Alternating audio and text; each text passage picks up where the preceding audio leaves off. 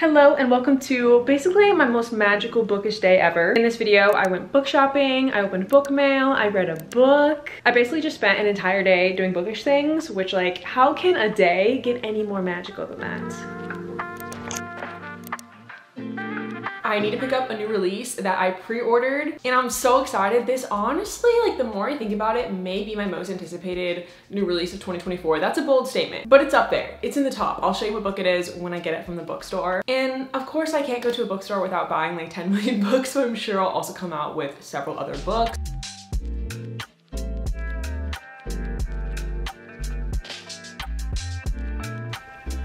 The book shopping OOTD.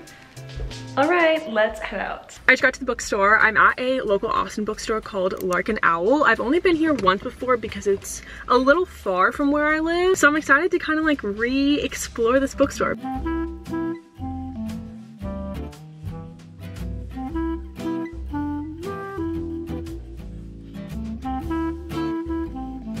They have blind dates with books. I really want to get one. They're always so fun to open, but I also own so many books. So like, what if it's a book I already own?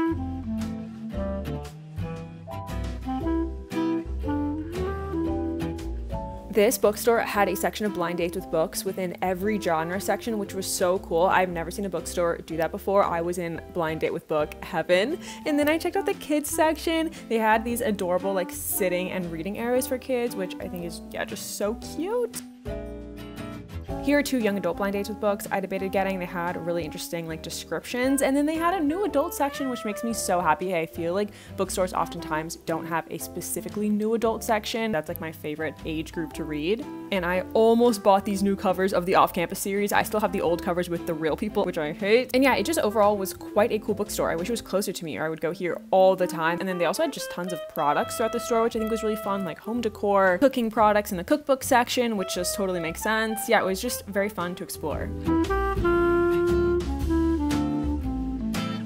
Bookstores are so dangerous. I made so many purchases that I did not plan on making. First, let me show you the purchase I did come here to make, and that is Bride by Ali Hazelwood. This is her newest release. It literally came out a few days ago. I pre-ordered it because by pre-ordering it through this bookstore, it was a signed copy and a personalized signed copy. Let me see if she did what I asked for. Oh, first of all, comes with a little thing of the characters, cute. yes, okay, so like when I ordered it, you could put like what message you wanted Ali Hazelwood to put if you wanted her to put a message besides just her signature. And I asked for her to put to Ali, my name twin, because I have never met a female Ali in my life who spells their name A-L-I. Ali Hazelwood is like the first girl I've ever heard of spelling her name this way. Name twins, me and Ali Hazelwood. That's so cute. I literally love that. I'm ecstatic. And then the other two things I bought that I shouldn't have bought are two blind dates with books. Like I need more books. This is also so dangerous because I just own so many books and I've read so many books. So I know in the past I've gotten blind dates with books where I already own or have read the books. So there's a high chance of that with these, but I just couldn't resist. Blind dates always get me. They're so interesting. It's like, what's inside them? I have to know. This first one is romance. This one's dangerous because there's no description, but I just thought it was so pretty and it's just gonna be some adult romance. I honestly don't wanna unwrap it because it's so pretty, but it's gotta be done. Okay, little preview is purple on the cover. I have no idea what this book could be. It's called The Man Must Marry. It says it's a romance about a woman who inherits a business dynasty unexpectedly, only to discover that she must marry one of the three brothers who were slated to take over.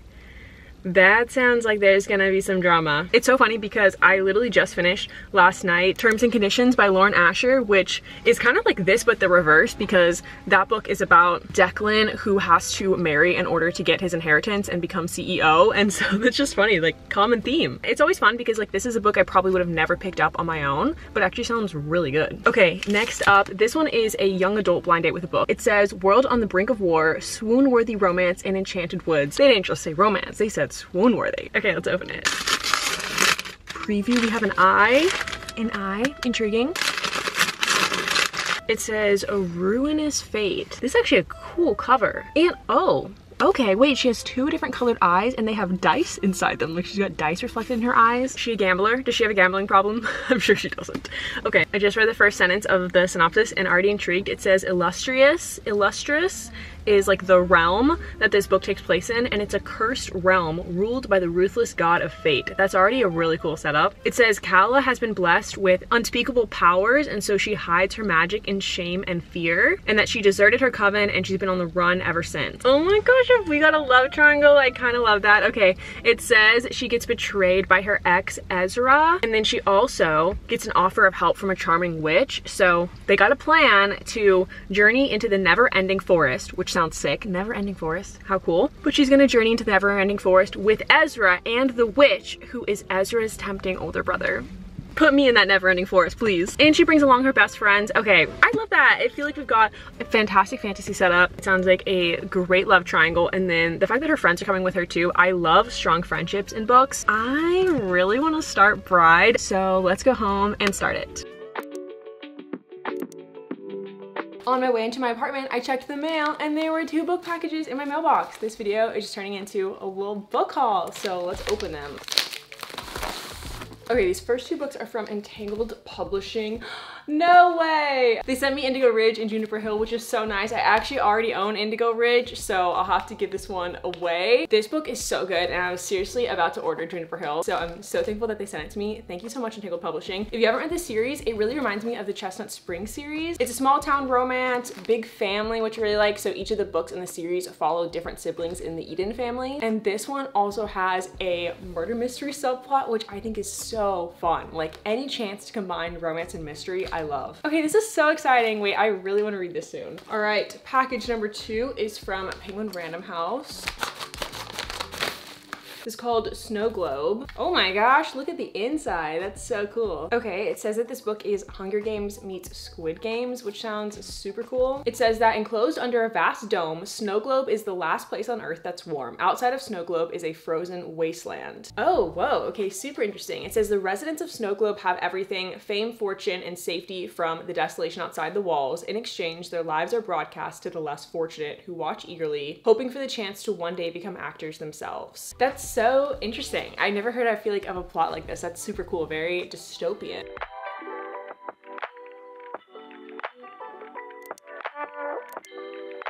Let's talk about Bride. I'm just so intrigued about this book. Whenever I said I think this is my most anticipated 2024 release, that may have been a too bold of a statement. I don't know. I, I can't really recall like what else is coming out this year right now. But the reason why I'm so intrigued about this book is because it's so different for Ali Hazelwood, which I think it's rare that I've read an author write kind of a new genre than what they typically come out with. So this is still a romance, but it's a fantasy romance. Previously, Ali Hazelwood has pretty much only written feminist romances. Her first kind of time doing something different was Check and Mate which is a young adult romance. But chess, academia, you know, still kind of similar. But this book is between a vampire and a werewolf. Or I guess it technically says it's a paranormal romance. So maybe not full fantasy, but still just like so different for her. So I'm just so intrigued and so excited to read this book. I read a page 35, which is the prologue and chapter one, and I honestly really like it so far. The vampires and werewolves don't get along, so Misery is our main character's name, which is such a fun name. She's a vampire, and then the werewolf dude, Lowe, they're getting married as like a marriage of alliance, but they don't meet until she's literally walking down the aisle, which is how the book starts, which is a crazy opening. And yeah, I could definitely see this book being a book I just binge. Oh, hi, yes, you wanna get on my lap? Hello. But I have to stop reading because tonight I'm doing a mystery movie night with some of my friends. Basically whoever is hosting it picks a movie for us to watch and none of us know what the movie is until it's literally playing. Like we just go into completely blind. It's so fun. But whenever I'm done sitting is when he wants to sit on my lap. You gotta get up little bro. You're so cute.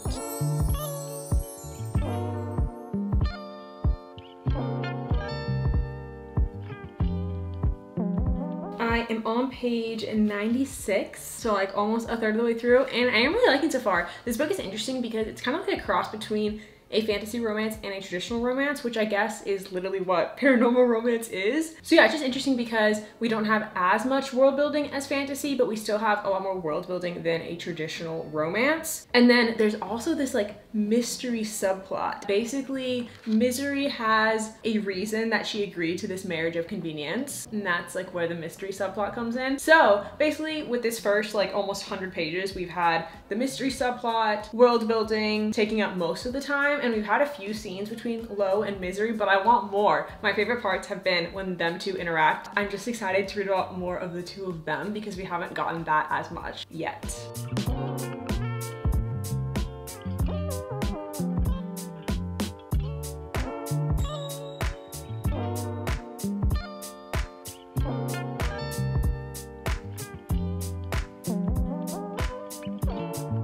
I just read page 226 and so far I have felt like this book has been moving a little bit slower for me than her other books but what just happened I'm low-key obsessed with and I feel like it's gonna start moving so fast for me. But yeah this book is fun because it's so different. I don't think I've ever read in my life a romance between a vampire and a werewolf. I missed my Twilight era in middle and high school. There's just so much new stuff in this book that I have never read in a book before.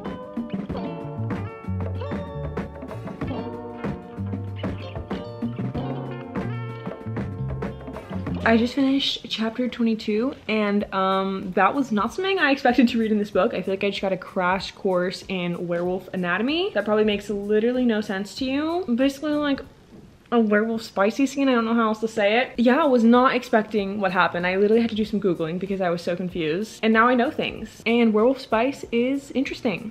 I don't know if I'm into it or not. I can't decide, but I'm intrigued. Overall, I'm like very into the whole book. Like this book is great. But yeah, chapter 22 was a little wild.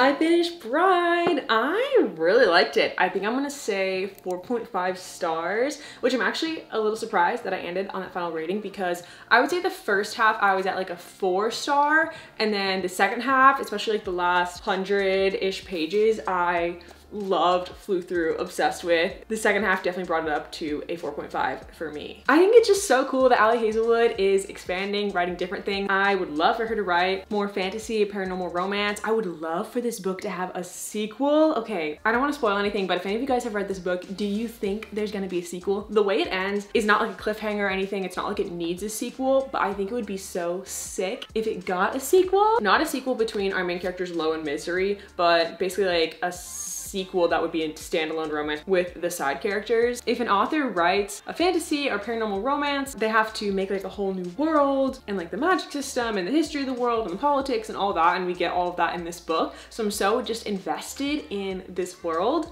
and I want more of it. So I think she could definitely do like spin-offs with the other characters in this book. I also feel like I learned so much about like werewolf vampire romances. I think there are definitely things to that trope as you saw when I reacted to chapter, I think 22, that I just didn't know existed. But now that I've gotten over some of the shock, I'm kind of into it. And I honestly think I might be seeking out more werewolf and or vampire romances. Anyway, thank you guys for watching this video. I know it's a little bit different-ish from what I normally do, just kind of like a more vlog style video, a video of kind of a lot of bookish things in one. Let me know if you guys liked this style of video. I think it'd be really fun to kind of do this format again. With that, I will see you guys in my next video. Bye!